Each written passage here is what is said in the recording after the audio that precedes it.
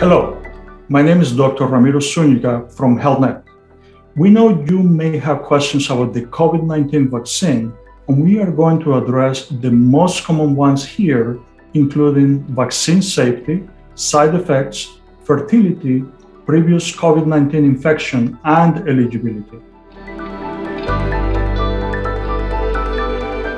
The COVID 19 vaccines are safe and effective.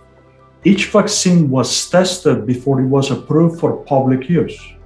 More than 70,000 volunteers of diverse racial and ethnic backgrounds, as well as age groups and medical conditions, took part in trials to be sure that the vaccines are safe and effective. After nearly two years of the pandemic and hundreds of millions of doses administered in the US and billions throughout the world, we know that the vaccines prevent serious illness, hospitalization, and death. Getting the vaccine is the best way to protect your family, friends, and neighbors. Side effects can vary, but are usually mild with the COVID 19 vaccine. They may include a sore arm, fever, or body aches, but that's normal, and it means that the vaccine is doing its job to help the immune system build protection.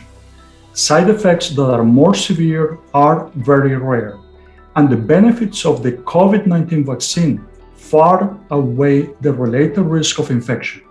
COVID 19 can damage the lungs, heart, and brain, which can lead to long term effects or long COVID that can last for months. The best way to protect yourself and others from infection is getting the COVID 19 vaccine. There is no evidence that suggests that the COVID 19 vaccine causes fertility related problems in men or women. If you are planning a pregnancy, there is no need for you to avoid the COVID 19 vaccine. If you had your first dose before becoming pregnant, you should get a second shot to optimize your protection.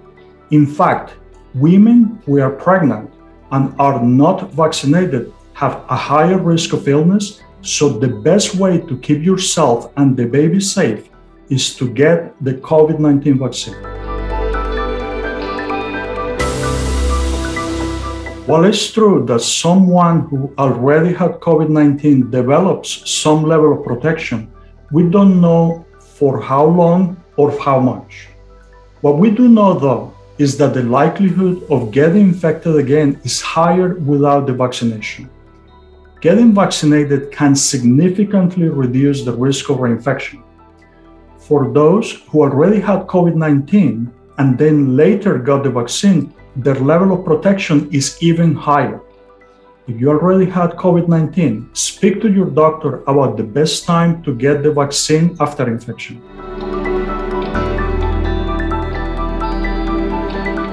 If you or your family members are concerned that getting the COVID 19 vaccine may impact your immigration status, there is no need to worry. We know that this is a sensitive topic but the information that you provide when scheduling a COVID 19 vaccine is not shared with immigration services or law enforcement. In fact, you don't even need to show a state ID to get the vaccine. We are in this together, and the more people that get the vaccine, the more likely we can keep our communities safe. The vaccine is available to you and your loved ones at no cost and your insurance will not bill you. We hope this information was useful. Visit myturn.ca.gov to schedule a free vaccine appointment. If you have additional questions, please visit healthnet.com and click on COVID 19 Resource Center or speak with your physician.